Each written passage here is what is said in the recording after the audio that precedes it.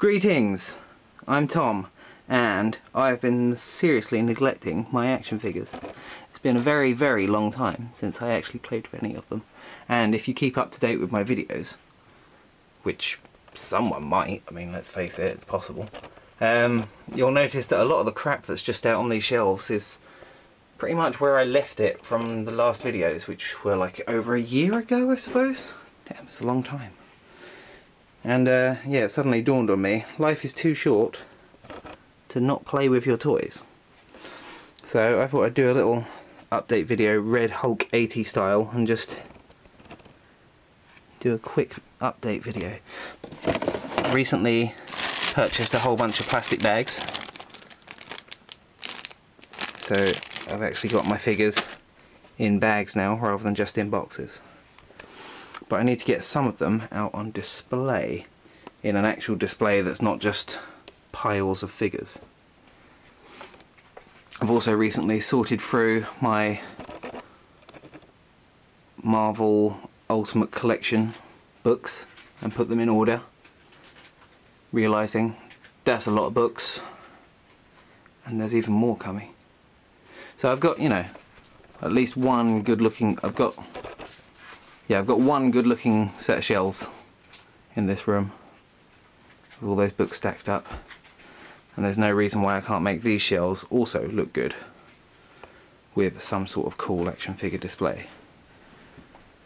I've also still got boxes of unpainted backdrops here that I may even get round to painting and maybe even selling or trading. Loads and loads of backdrops all ready to go with their lovely 3Dness. They just need a little bit of finishing off. I mean maybe people would be interested in buying them like this. You can finish them off yourself. Paint a bit of brickwork. Fully finished backdrop.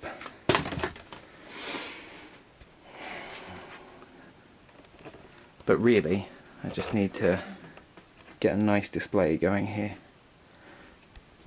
Partly getting interested in action figures again because there's some new action figures out. I mean I haven't stopped buying them, just haven't had the time to play with them.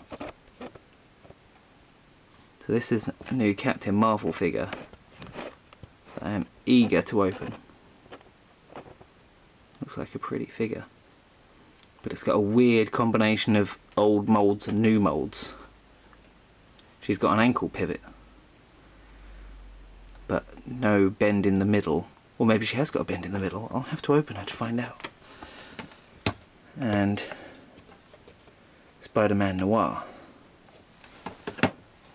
Some other figures that I will open soon enough and probably do a review on is this Doc Ock figure which is the only 3 and 3 quarter inch Doctor Octopus that I know of. And he's also one of the only chubby action figures I own. So it'll be interesting to see what goes on there. I've missed out on a lot of really cool action figures that I just haven't had a chance to really play with or do anything with. Such as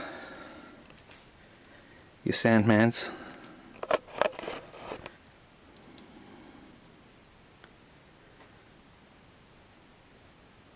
and also I've got a black cat knocking around here somewhere. Doo -doo -doo. Which as far as I can tell is a very cool figure with semi-decent articulation. I say semi-decent because her whole middle is just a solid block of plastic. But you know, cool hip joints and stuff, so and a very cool character, so I'm sure there's something I'll be able to do there. So you know, stay tuned and hopefully these shelves here will have some sort of interesting display on them soon.